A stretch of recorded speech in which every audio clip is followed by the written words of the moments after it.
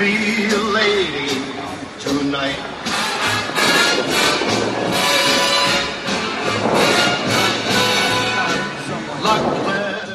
Good morning, everybody. How's it going? Doing all right? Welcome to Hangover Heaven.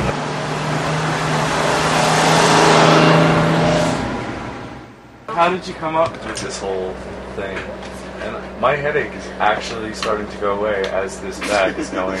uh, treating patients in the recovery room that uh, I noticed that their symptoms were the exact same as what people had with the hangover, the nausea, the generalized disorientation, aches and pains from being on the uh, OR table. the lack of focus. Right, right. And we treat with IV fluids, IV ondansetron, and IV uh, Ketorolac.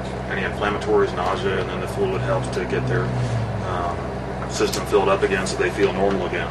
And That I makes- thought, and I thought, you know, this could actually be, you know, a decent thing for a uh, hangover with some antacid. Tried it on myself a couple times, and uh, to see exactly how it worked. But uh, I knew that the formula would work, and I brought some supplies home uh, from uh, medical clinic I'm a part owner of. When I had a hangover, I put an IV in, treated myself, and was amazed at how quickly the hangover resolved. Okay, picking up there is a little bit of a challenge.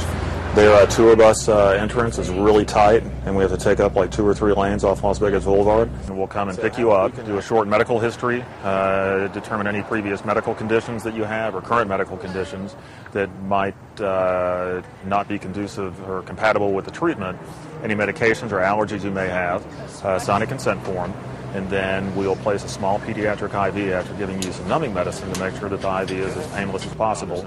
Uh, infuse the IV fluids along with the vitamins, and then administer the medications during the course of the treatment.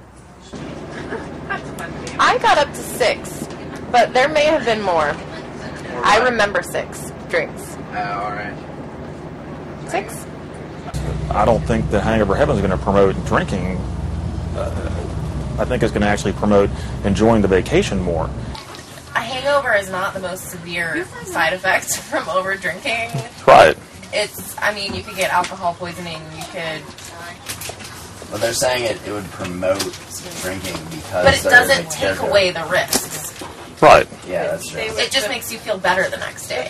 People need to be responsible for their own decision making, and just because a healthcare service exists, whether it be for hangovers or fixing your broken leg, doesn't mean that you should go out and either drink too much to get alcohol poisoning or uh, fly off a 60 foot jump and uh, cut a double backflip just because you know that they can fix your broken leg. The nausea's completely gone.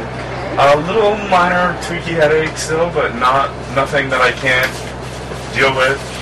Would you say it's down from a three to a? I'm at like a like a one if that. Like I'm totally just gonna go back, take a shower, and go about my day. I'm, I'm fine. I think that Hangover Heaven is going to become part of the Las Vegas experience.